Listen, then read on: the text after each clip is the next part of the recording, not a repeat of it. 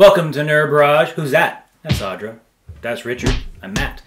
Sorry this video is coming out super late for unboxing. Uh, it was a shipping issue, so we apologize for that. We did have an intro video prepared, but we're going to hold off on that until a later date. No. I agree with them. What's in the box? What's in the box? Easy. Um, there's a new box design. You guys notice that? I did. So, It opens differently. Wants the guide?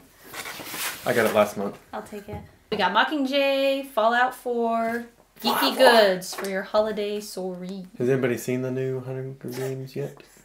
Like- Soiree. Soiree. Is that how you say it? I've not heard Welcome to. English 101, nerds. I got a cool sticker. Oh, How video games are made. My 16 months inside the development of Defense Grid 2. It's So an this is- inside look at how the game was made, and then it has a downloadable game code on the back.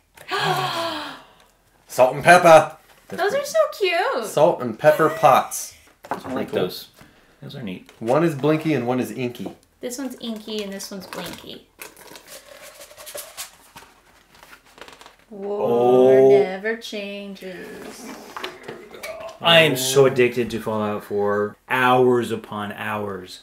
Oh, I got a deck of cards. Ghostbuster Ghostbusters. 30th anniversary deck of cards. Oh, the first Those card is so a cool. Joker. Oh, nice. These are actually amazingly Yeah. awesome. The design on these is really neat. All right, so the face cards, you've got things like the Stay Puft Marshmallow Man, Demon. Oh, isn't that the librarian, isn't it? Yeah. Oh yeah.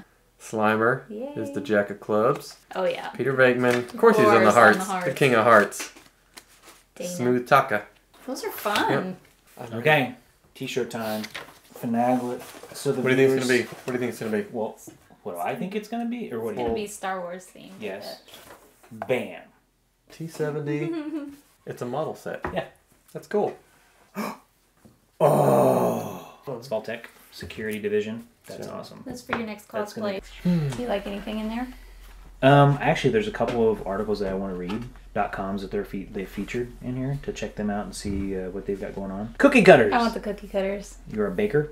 Mm-hmm. Are you a master baker? Mm-hmm. Chainmail wine bottle bag. Mm-hmm. You need Uh, that.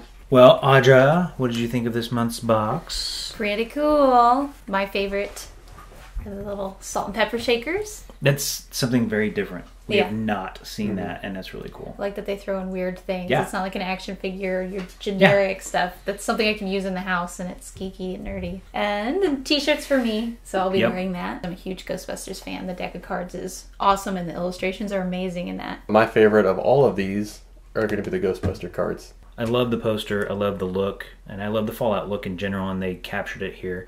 The uh, Vault-Tec security badge is a nice touch. The shirt, uh, very unique as well. And I noticed after the fact that BB-8 is on the uh, the punch outs as well. That's really fun. He's cute. You know something about the shirts that we get every month is it's not one that you ever see in stores No, or unique. I like n- subtle, nerdy shirts uh, where people are looking at it and going, "Oh, see what you did there." Richard, do you have anything to add? in the spirit of Thanksgiving, thank you for watching. If you like us, don't forget to subscribe and share us with your nerdy friends. Thanks, guys. See ya.